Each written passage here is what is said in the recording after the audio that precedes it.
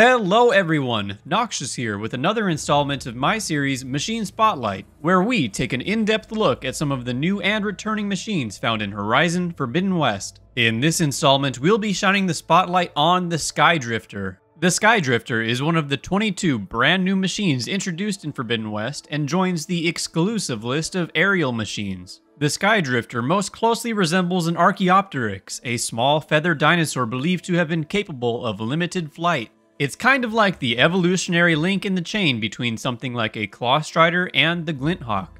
Just like the Archaeopteryx, the Skydrifter has large feathered wings that it uses to soar through the air with the help of some rocket boosters on the sides of each thigh. A long tail lined with razor sharp feathers also helps the Skydrifter maneuver. It is still quite agile on land thanks to its long and powerful legs. Due to its relatively small and nimble stature, the Skydrifter excels in its role as a recon class machine. A single, large optical sensor slash scanning unit sits at the very center of the machine's head which it uses to continuously scan the environment in search of threats or prey. The Skydrifter's primary purpose is to alert nearby machines to any threats, but it is also quite capable itself in combat and can be quite difficult to handle early on in the game. In this video, I will cover everything you need to know about the Skydrifter, including its locations, weak points, combat strategies, and more. If you find yourself enjoying this video, do me a favor and hit the like button and subscribe to my channel. Let's get started with the Skydrifter's locations on the map. The Skydrifter has four dedicated machine sites, mostly in the eastern reaches of the Forbidden West. The first site on this list is located just to the west of the Carja settlement, Barren Light. Here you can find some Skydrifters as well as a few Leaplashers. The next site is located just northwest along the road on the way to the Utaru capital, Plainsong. Here you can find three Skydrifters as well as some Fire Fanghorns. The third site is located directly south of the Utaru capital, Plainsong, just along the edge of the fields. Here you can find a couple of Skydrifters with no other machines in the area, The fourth and final site is located in the hills bordering the western edge of the Las Vegas desert. You can typically find three Skydrifters here with no other machines in the immediate area. Can't get enough of the Skydrifter? Well, you're in luck because they are absolutely littered across the Forbidden West in different unmarked sites. Next, let's take a look at the Skydrifter's machine catalog entry. Skydrifter, a level 16 recon lightweight machine, a gliding machine that easily spots and tracks potential threats. Whether in the air or on the ground, it is fast and agile and can lash out with its razor sharp tail and wingtips. It is weak versus frost damage and strong versus fire damage.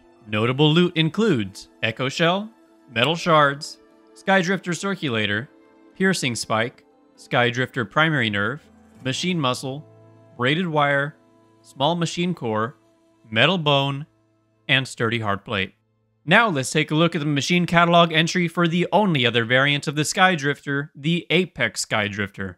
Apex Skydrifter, a level 26 recon lightweight machine. A hunter-killer variant recognizable by black and gold armor plates and purple muscles. It has been modified to be significantly more resilient and deadly, Similar to the regular variant, it is weak versus frost damage and strong versus fire damage. Loot remains fairly similar, with the addition of a 60% drop rate for Apex Skydrifter Heart. Another key difference is the Apex Skydrifter has acid canisters where the regular variant's sparkers would be. Next, let's study the Skydrifter's weak points so that we can exploit them in battle. A single tracking container located on the machine's chest produces a spray that can track a target's location even if they attempt to re-enter stealth. Detach or destroy it to disable this ability. The Razor Tail is located at the end of, you guessed it, the tail, and is used as a primary melee weapon. Detach it to disable the Skydrifter's tail attacks as well as provide yourself with a key upgrade resource for your gear. Two sparkers are positioned at the base of the Skydrifter's tail and act as shock storage. Tear them off to collect the resource or shoot with a well-aimed shock arrow to detonate and inflict the shock state. Two boosters are mounted to the outside of each of the machine's thighs. These fire-based thrusters are used to rapidly launch the Skydrifter into the air. They are especially vulnerable to damage when overheated. By the way, have you ever noticed each machine has their designated cauldron stamped into their metal plates? Look closely. Finally, a single large scanning unit sits at the very center of the machine's head. This acts as a primary detection device and projects a cone of light that reveals enemies, including those in stealth. Detach it to disable this ability. Next, let's familiarize ourselves with the Skydrifter's range of attacks. It has several ranged attacks, including its tail spike throw and a burst of tracking fluid. Dodge to avoid its aerial wing slash attack. Watch out for its razor tail sweep, as well as its fiery pounce attack. While it's in the air, keep an eye out for its dive attack. You may find yourself stunned if you don't dodge in time to avoid its wing blast attack. Finally, watch out for its fiery phoenix attack that has a wide area of effect. Take everything you've learned in this video and you'll be clipping the Skydrifter's wings in no time. The Skydrifter can indeed be overridden, however you will first need to clear Cauldron Iota and then craft the uncorrupted version of the override using two Skydrifter Razor Tails and one Skydrifter Primary Nerve. I will now demonstrate overriding a Skydrifter in the wild. Let's see how it does against the Tremortusk and Thunderjaw. We're of course going to be setting it to aggressive.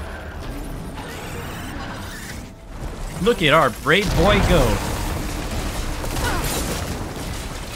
It's looking good so far. After a major upset, our Skydrifter is down. No one could have possibly seen this coming. Type F in chat to pay respects to our brave boy. Let's make it just a tad easier and have it go up against an Apex Skydrifter.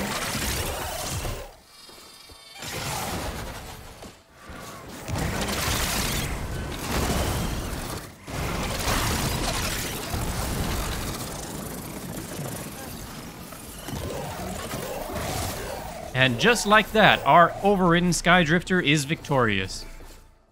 That concludes this installment of Machine Spotlight, where we took a close look at the Skydrifter. Let me know what you think of the Skydrifter in the comments below. Am I the only one who had a hard time with him early on in the game? That combination Skydrifter and Leaplasher site just outside of Barren Light is just cruel. I do like the Skydrifter's unique design and somewhat steampunk locomotion. What other flying machines would you like to see in DLC or even the sequel? If you like this video, please hit the like button and subscribe to my channel for more Horizon Forbidden West content. As always, I'm Noxious Asp. Thanks for watching. Can this video be the first of my videos to hit a thousand likes? Let's make it happen in honor of our fallen brave boy.